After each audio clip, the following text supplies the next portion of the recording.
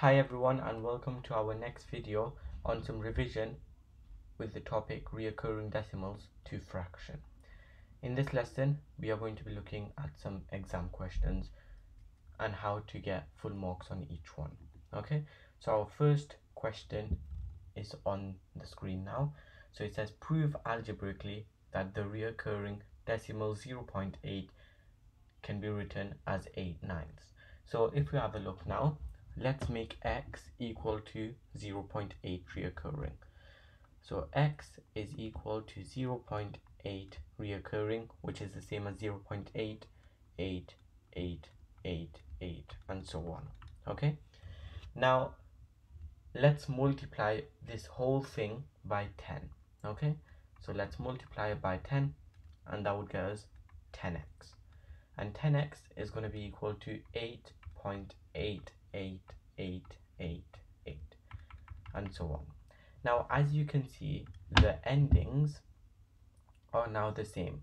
The numbers after the decimal point are now the same. So we have 0.888 and we have 0.888 as well. So that means we can just subtract these two numbers from each other.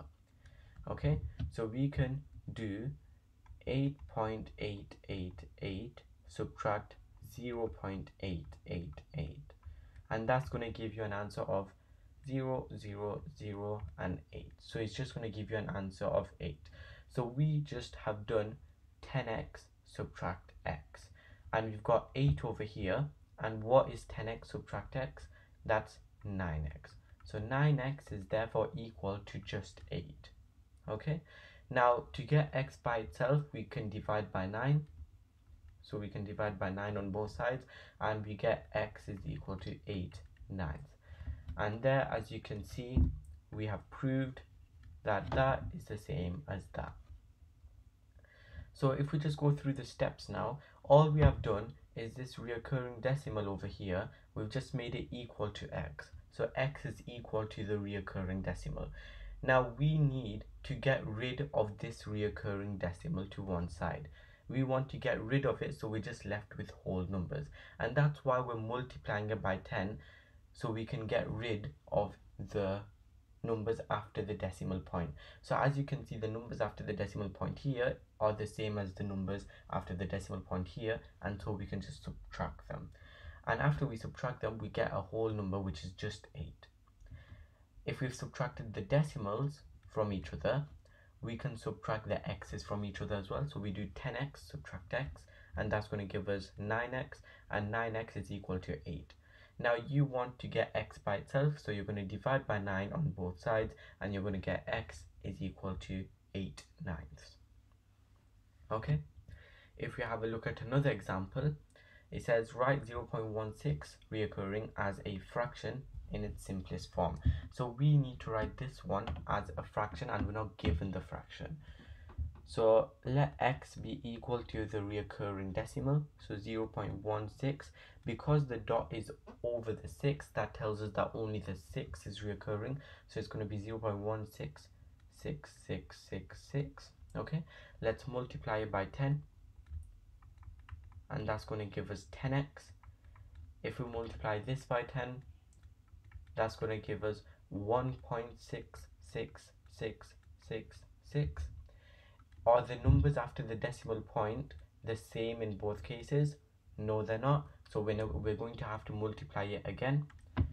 So let's multiply this by 10, which is going to give us 100x, and that's going to be equal to 16.6666. Okay. Now are the numbers the same? Yes, they are. So we have 0.666 here and we have 0.666 here. So that means we can subtract this row over here and this row. So we are going to do 100x subtract 10x, which is going to give us 90x, and we're going to do 16.6 reoccurring subtract 1.6 reoccurring. Okay, that's going to be 0 that's going to be 5 and that's going to be 1 so we're just left with 15 so 90x is therefore equal to 15 okay?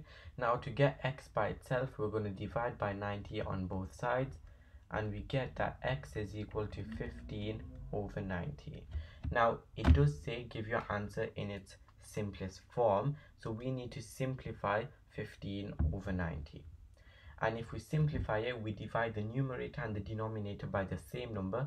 So we could divide the top by 15 and we can divide the bottom by 15 as well and we would get 1 6 so 0.16 reoccurring as a fraction your answer is going to be 1 6 okay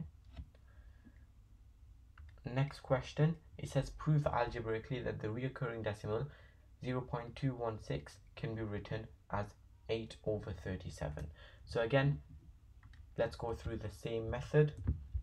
So we have 0.216 let's make x equal to it. So x is equal to 0.216 now because there are two reoccurring numbers and the one is sandwiched between them that means the whole thing is going to be a reoccurring. So it's going to be 0.216 216 216 and so on. Okay? Let's multiply it by 10 to get 10x is equal to multiply by 10 2.16216 and so on. Let's multiply by 10 because we don't have the same numbers after the decimal point that's going to give us 100x is equal to 21.621621 and so on. Now we still don't have the same numbers so let's multiply by 10 again.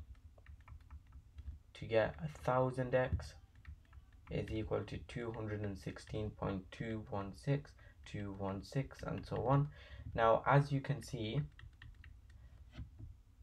this row the thousand x row and this row just the x row are now matching. The numbers after the decimal point are the same. So 216 216 and 216 and 216 so now we can subtract x from a thousand x. So a thousand x subtract x is just going to be 999x and 216 subtract 0 is just going to be 216 because the 216 216 they just cancel out. Okay? So you get that 999 x is equal to 216 you need to get x by itself. So you're going to divide by 999 on both sides. To get that x is equal to 216 over 999 and you can simplify that and you would get an answer of 8 over 37 so once you've simplified it you would get that as your answer. Okay? So that has been algebraically proved just like that. Okay? So this is your proof over here. Okay? Next question. So it says write 3.254 as a fraction in its simplest form so again let's go through the same method. Let's make this equal to x. So x is equal to 3.254 and the dots are just above the 54 and the 54 so we're just going to reoccur the 54 in this case. So 3.254 54 54 and so on. Let's multiply by 10 so to get 10x is equal to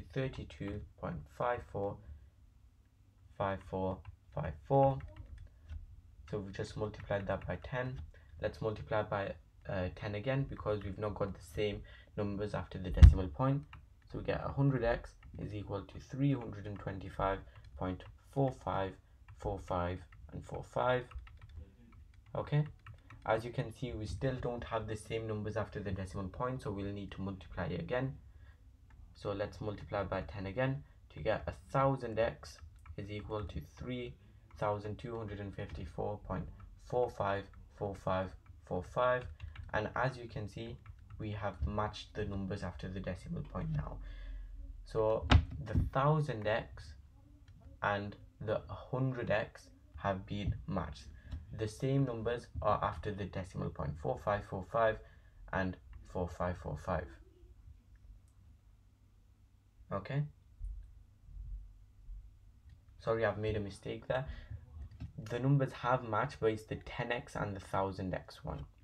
And you can see that as I've made a mistake because it's not meant to be 4545 it's meant to be 5454 okay? So let's just change that to 545454 and the 10x and the 1000x have matched because they have the same endings. Okay? So now you can just do a 1000x subtract 10x so you can do this row and this row subtraction. So if we do a 1000x subtract 10x what's that going to give you? That's going to give you 990x and 990x is going to be equal to 3254 subtract 32 obviously the decimals are going to cancel out. So 3254 subtract 32 and that's going to give you 3222 okay?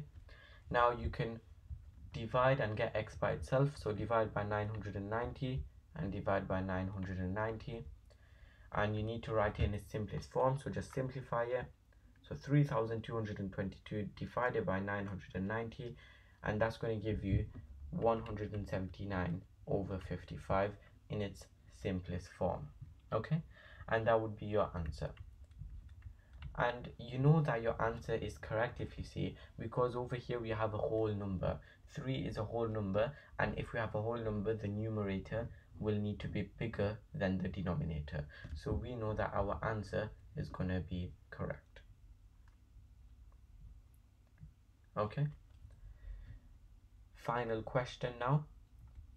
As you can see this one was a bit harder because we had a whole number but always remember to follow the same rule. Okay. Final question. X is an integer such as 1 is smaller than or equal to x which is smaller than or equal to 9 prove that 0 0.0 x reoccurring is the same as x over 99 so what this is actually telling you if you understand the question that x is between 1 and 9 and it can include 1 and 9 okay? We need to improve that whatever number that we choose as x is the same as that number over 99 okay? So let's just choose a number between 1 and 9 let's choose 5 okay? So we need to prove that 0 0.05 reoccurring is the same as 5 over 99 that's what we need to prove. And that makes things quite easy for us. Let's make x equal to 0 0.050505 let's multiply it by 10 to get 10x is equal to 0 0.50505 okay? Let's multiply by 10 again because we don't have the same numbers after the decimal point. To get 100x is equal to 5.050505 now as you can see